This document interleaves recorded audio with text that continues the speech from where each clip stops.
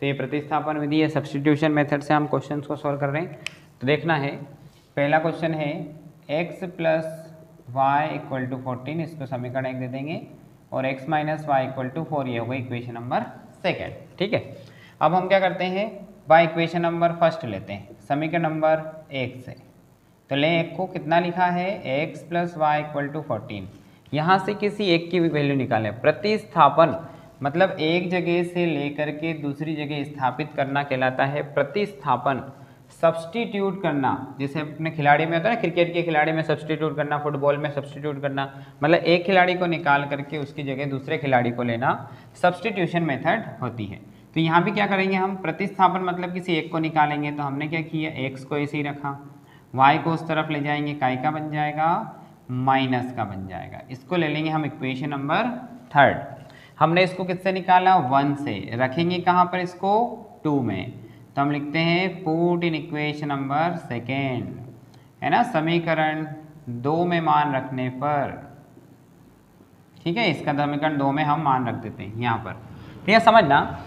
हम मान रखेंगे एक्स का, है ना? एक्स की वैल्यू रखेंगे हम वाई और इसको ऐसे ही रखते हैं। तो minus Y equal to four को हम कोई चेंज नहीं करते हैं। ठीक है? वैल्यू किसकी रखना है? एक्स की। तो देखो एक्स की वैल्यू यहाँ कितनी दिख रही है हमें?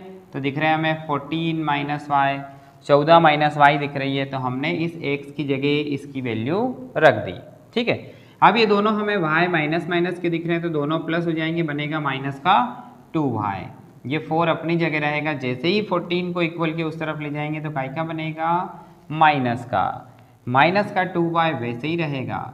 फोर्टीन में से फोर, चौदह में से चार को घटा देंगे तो घटाने पर तो बनेगा टेन। लेकिन चिन्ह किसका लगेगा? तो जिसकी लाठी, उसकी भैंस।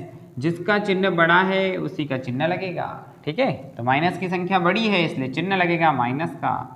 ये माइनस से माइनस कट गया। y इक्वल टू टेन ये मल्टीप्लाई में दिख रहा है, इसको भेज देते हम डिवाइड में। तो टू की टेबल से कट जाएगा टू फाइव ज़ा टेन दो पंजे दस। तो ये भाई की वैल्यू कितनी आ गई?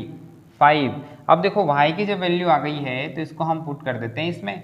इसको सब्सटीट्यूट यहाँ कर देते हैं। पहले इसको यहाँ सब्सटीट्यूट कर दिया, अब इसको यहाँ कर देते हैं। तो यहाँ पर वैल्यू रखेंगे तो देखो बाय इक्वेशन नंबर थर्ड समीकरण नंबर तीन से कहाँ रखेंगे इसमें? रख दें? देखो, x equal to fourteen minus Y की वैल्यू हमने रख दिया फाइव चलो माइनस करते हैं तो फोर्टीन में से फाइव गए तो कितना बचेगा? नाइन ये दोनों के आंसर आ गए।